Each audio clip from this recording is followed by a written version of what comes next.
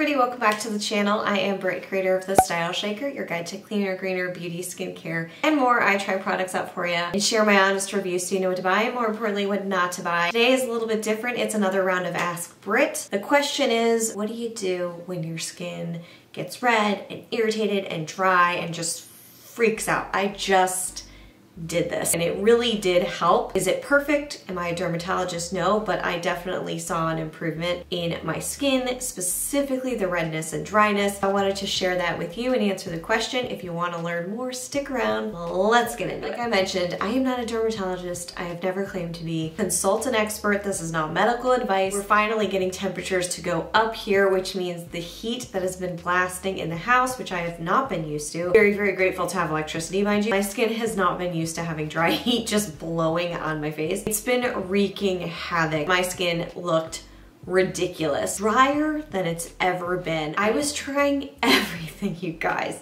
and it hasn't been helping. I actually was gonna call a dermatologist because I was concerned that the flakiness that was going on was just, I've never seen anything like it. So here's what I did.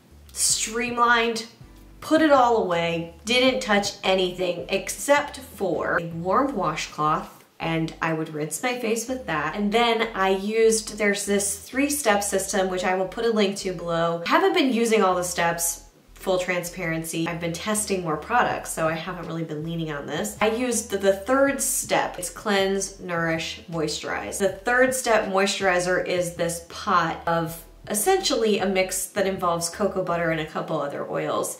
You mix it together. We'll put the recipe again below for you, but it's basically just like a lot of cocoa butter. I was putting that on the key areas that were dry. Every morning, every night, and even during the middle of the day. I would use a tinted moisturizer that I know does not irritate my skin. I have a couple that I can lean on. One's a BB cream from Inika. The other one is the Sun Shield, but I probably used more of the Inika than anything else. That would be what I would wear as the complexion, evener out, evener outer, no. It's the complexion product on top of the moisturizer that I was using. This is just what worked for me, but man, it really helped so, so much. And it really just went to a warm washcloth, Ayurvedic salve balm cocoa butter deliciousness. And it's so rich that I would just put a little bit on my finger. I would dab here overnight. I would definitely layer it on almost like a mask and I smelled like chocolate. Everything that looked red and inflamed, this whole area, all of that dissipated and went away because I stopped fussing with it.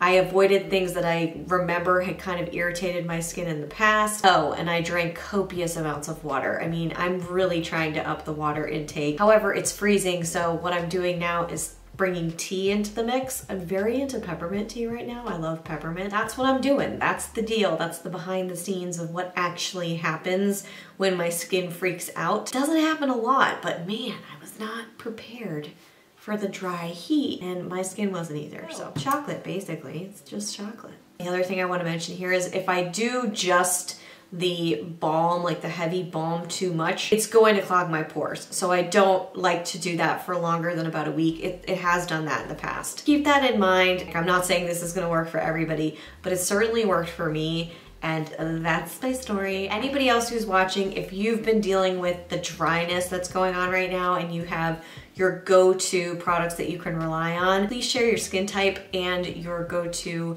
healing routine right now in the comments below. And everybody can get everybody else's perspectives. So thank you for watching. If you enjoyed this one, don't forget to like it and subscribe to the channel. My camera just died, now it's adjusting. I'll see you guys right back here real soon. Until then,